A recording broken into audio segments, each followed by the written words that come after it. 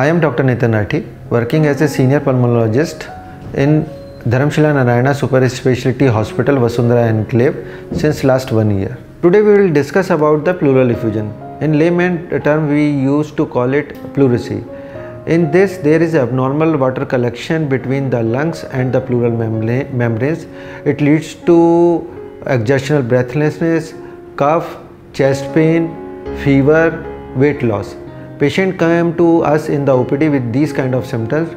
We have to evaluate these kind of patient and in routinely we do auscultation. There is absent breath sound on that side. We do imaging and in imaging we found there is a water collection in the lungs. It may be unilateral, it may be bilateral.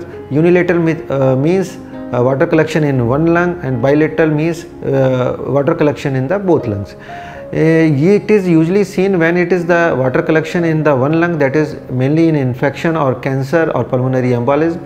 When there is water collection in both lungs that may be due to systemic causes just like diabetes, hypertension, heart failure, CKD and uh, anemia. We have to evaluate patient accordingly. We have to take detailed history of the patient and uh, occupation and we have to do imagings according to imagings uh, we have to see it is unilateral or bilateral. If patient is uh, having bilateral pleural effusion then we have to do systemic tests just like CBC, LFT, KFT and echocardiography to evaluate the uh, cause. If the patient having unilateral pleural effusion then we have to put a needle uh, into the chest uh, by the help of ultrasound we take that uh, sample for diagnosis and send it to lab for different tests and uh, see the etiology.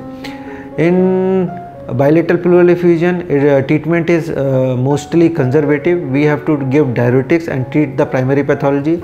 If it is uh, due to liver then we have to see the uh, cause of liver failure. If it is because of kidney issues then we have to see cause of kidney issues and we have to do maintenance dialysis if it is because of heart then we have to give diuretics and uh, send the patient to cardiologist.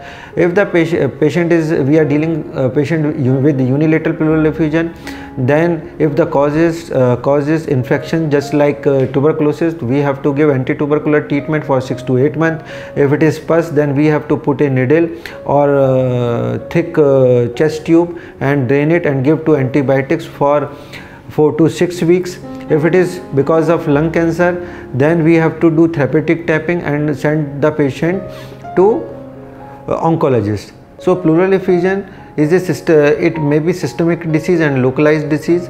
It uh, leads to multi-systematic multi -systematic approach also.